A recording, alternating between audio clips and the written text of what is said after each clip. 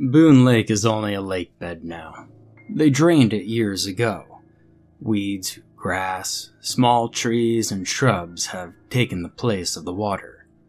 When the wind blows, the foliage ripples like waves. Boats and docks sit among the growth like tombstones, grim reminders to the past fun and beauty of the place. If you're out there in high summer, and if you listen closely, you can still hear the faint ring of laughter, the distant buzzing hum of outboard motors, and water lapping gently at the banks. Echoes of the past linger in places like Boone Lake, places that were once hubs of activity, places that harbored so much life. My family owned a house out there when I was a kid, it was an older house, having been built by my great grandfather sometime around 1910. The house had been passed down through the family ever since, just the way Grandpa had wanted. Summer evenings, sitting on the dock, the sun setting low in the west, and at first setting, the world ablaze with oranges and reds, and then casting everything into darkness. That was my favorite time watching the shadows grow longer and darker, creeping along and eating the daylight world. My friends and I spent many nights sitting around the fire on that little lip of sandy beach owned by my family. It wasn't much of a beach, but it was big enough for us boys to build a fire around, which we could sit at and tell stories. Mostly they were ghost stories, and sometimes we would talk about girls too especially when we got older and entered high school. Adolescence wasn't kind to any of us, though, and we found ourselves consumed by the constant struggle to fit in, to belong, to be part of the group. None of us ever achieved the status of being awesome, but we did reach the echelon of being cool, at least for a while. I had my books in the lake house, and that was enough for me. And by our junior year, I had given up on climbing that social ladder any higher. I sat on the dock and fished or read my horror books and magazines. Love of reading wasn't the only reason I spent so many hours peering down at the pages of my books. I wanted to be a writer, to be a good writer, too. I would have to invest time in writing first, not just my beloved horror, but other genres as well. This was elementary wisdom to me. But if I had a choice between Little Women and Cujo, well, then I would read Cujo. I had a job at the local hardware store that year, too. I was a good employee, quiet, efficient, always on time. I can't say that I liked the job, but, well, I didn't hate it either.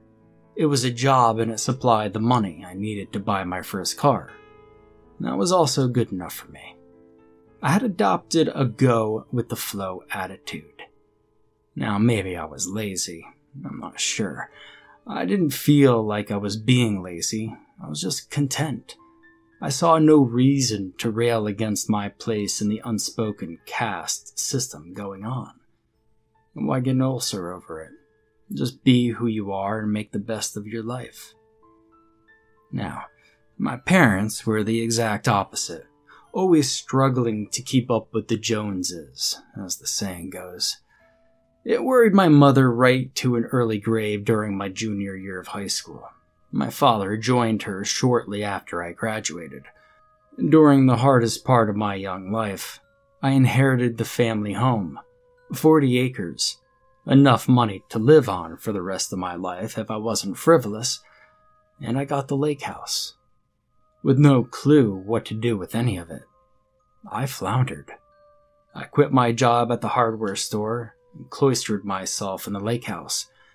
And each day I drifted from room to room, bemoaning my heartache and grief, becoming a master at avoiding any activity that might draw me out of the house. I remained isolated for weeks at a stretch.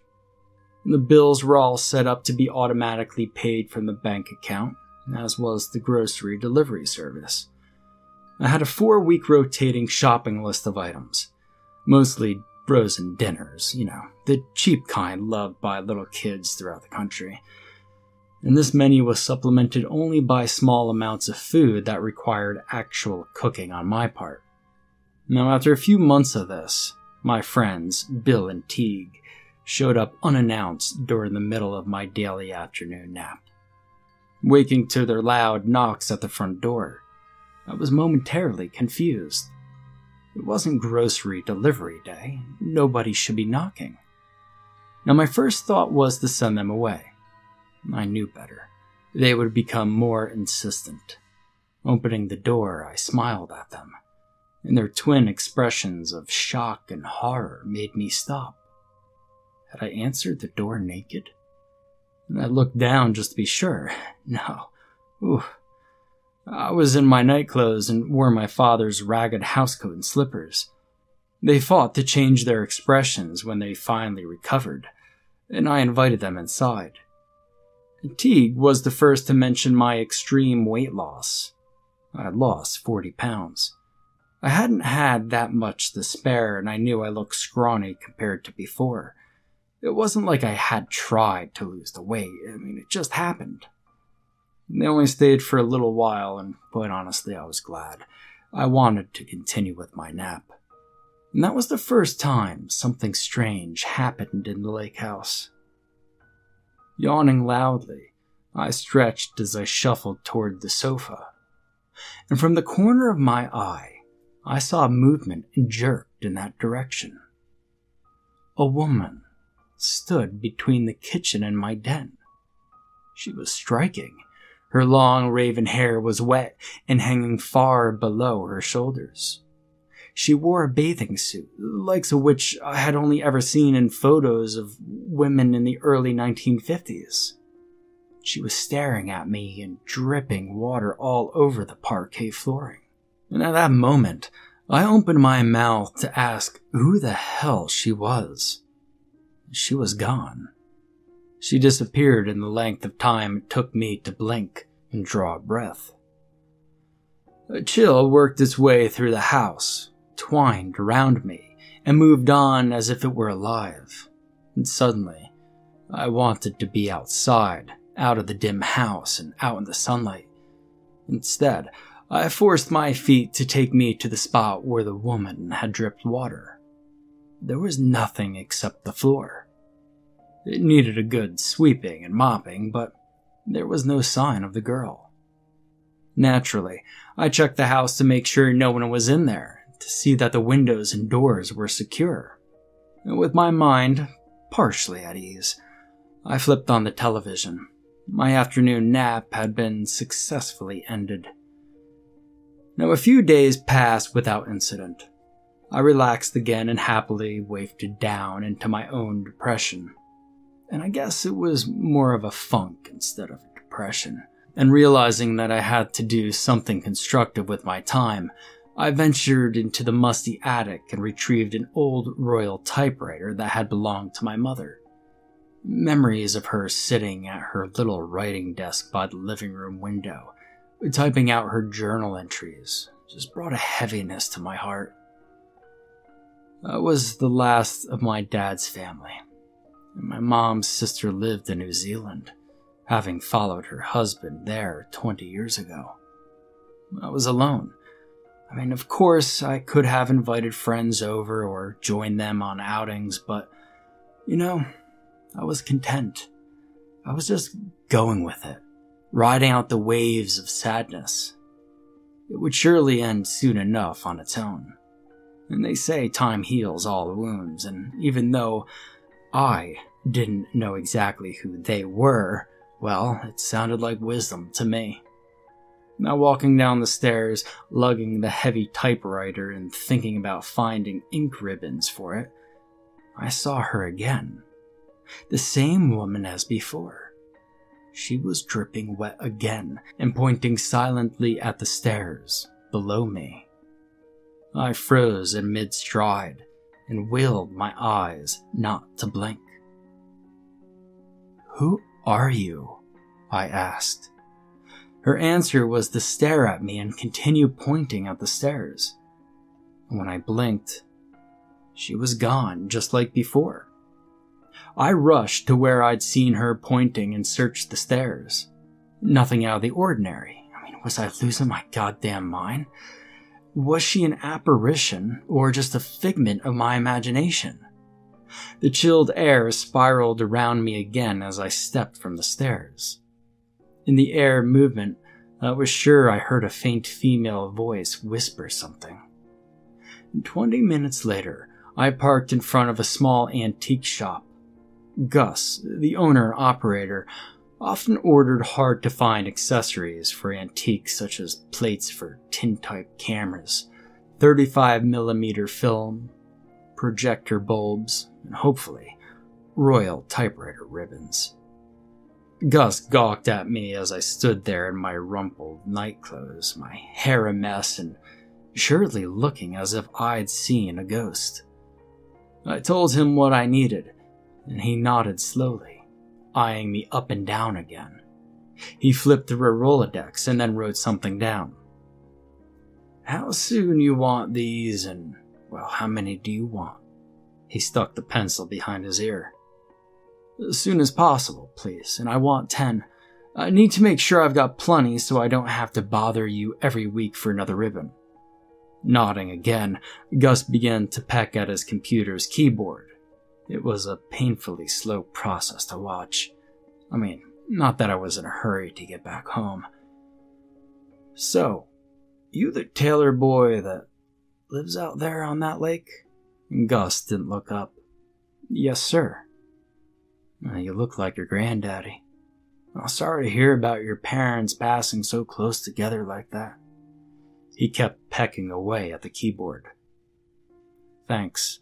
I turned my attention to the antiques on the overstuffed shelves to avoid more conversation. Gus spoke louder and talked anyway. He told me that he and my grandfather had been acquaintances. He said Grandpa changed after he inherited the house and moved in permanently. He took a wife and had two boys with her, and I assured him that I knew the story. One of the boys was my dad, after all. So, you know about the old man going off his rocker? Woo, that was some scandal around these parts. He chuckled. Um, no. I didn't know he went crazy. Uh, why would you say that? Now I was starting to become angry at this. Well, I mean, maybe he didn't go crazy, son. Maybe he was always crazy. Ah, at least that's my thoughts. Uh, the man was never quite right in the head. Uh, ask any of the women around my age who lived here long enough to remember him. Most of them were scared to be around him. Rumor was that he. Well, rumors ain't nothing to be passing around after all these years. Gus finished pecking at the keyboard and printed off the paper. What rumor? I wanted to know. Laughing, he shook his head and handed me the paper. Listen, you gotta overlook me, son. I get mighty forgetful of my manners sometimes. Here, with all the shipping and other charges, it's going to be uh, 169 and 82 cents. I went to the car and pulled my wallet from the glove box. As I paid him, I wanted to punch that goofy backwards grin off of his face. It was rude to give someone just a hint of something and then not finish telling them the story, especially when it was about their family. I had been considering selling the lake house and the family home and moving away from the Boone Lake community completely. And after my dealings with Gus, I considered it more seriously. Back at the house, I walked in, still upset about the story Gus had only partially told me. Flinging the door shut behind me, I set the typewriter on the foyer table and looked up. The same ghostly woman was standing by the newel post, her hand on the front of it about halfway down. She looked up at me and back to the post. She sobbed and disappeared. I braced for the swirl of cold air that always engulfed me when she disappeared. But it didn't happen, and after a few moments, I walked towards the stairs. toward that newel post she had been so interested in. It just looked like a newel post. Nothing remarkable about it.